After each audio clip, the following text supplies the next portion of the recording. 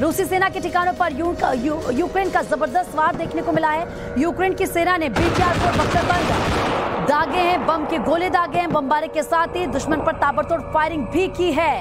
और वो तस्वीरें हम आपको दिखा रहे हैं। Exclusive video Times of Bharat आपको दिखा रहा है। ये बमबारी की तस्वीरें हैं। रूसी सेना के ठिकानों पर यूक्रेन का ये ज़बरदस्त वार है। यूक्रेन की सेना ने बीटीआर फोर बख्तरबंद देखिए बम के गोले, जरा समझिए, क्योंकि यूक्रेन कह चुका है कि अगर रूस हम पर अटैक नहीं करेगा, वो हमको यूँ ही नुकसान पहुंचाएगा तो हम भी छोड़ेंगे नहीं।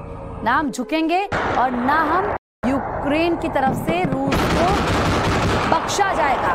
उनके सैनिकों को भी नुकसान पहुँचाया जाएगा, उनको भी हम नुकसान पहुंचाएँगे, क्योंकि यूक्रेन के साथ ये जंग नौ महीने से रूस की चल रही है, और ऐसे में नुकसान आम जनता का लगातार हो रहा है। पूरे देश का इस वक्त नुकसान हो रहा है। लेकिन, चलिए आगे बढ़ती हूँ मैं। आपको बता दूँ कि रूसी सेना पर यूक्रेन के ड्रोन अटैक लगातार जारी है। और ऐसे में रूसी ठिकानों पर ड्रोन से बम गिराए जा रहे हैं। यूक्रेन का, रूस के कई ठिकाने तबाह करने का दावा है। ड्रोन अटैक से रूस के कई हथियार बर्बाद करने का भी दावा किया गया है।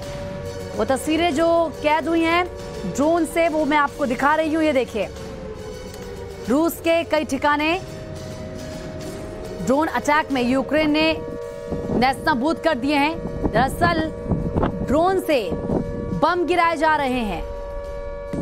ड्रोन का इस्तेमाल किया जा रहा है क्योंकि आसानी से ये ढूंढना काफ़ी आसान होता है कि आखिर आपका दुश्मन कहाँ पर ड्रोन की मदद से आप उसको देख भी सकते हैं, उस पर निशाना भी लगा सकते हैं और तस्वीरों को भी आप कैप्चर कर सकते हैं। जैसे कि ये तस्वीर, ये यूक्रेन का ड्रोन अटैक है रूस पर, ये देखिए।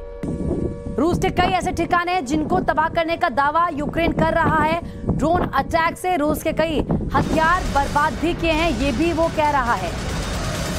तो वहीं यूक्रेन के टैंक यूनिट पर रूस का प्रहार, रूस के इन्फेंट्री यूनिट ने हमला किया है। यूक्रेन के घातक टैंक को तबाह कर दिया है। वार पलटवार का सिलसिला लगातार जारी है। यूक्रेन के टैंक यूनिट पर यह रूस का प्रहार। इससे पहले यूक्रेन ने ड्रोन से रूस के ठिकानों पर अटैक किया और अब ये देखें ये रूस ने अटैक किया यूक्रेन पर। रूस के इन्फेंट्री यूनिट ने यह हमला किया है। यूक्रेन के घातक टैंक को तबाह कर दिया है। कोशिश यही है कि जो हथियार हैं या हथियारों का जखीरा है या जो घातक वेपन्स हैं उनको तबाह कर ले। अगर हम किसी सेना के तो ज़ाहिर सी बात है सेना तो वैसे ही कमज़ोर हो जाती है और यही किया जा रहा है।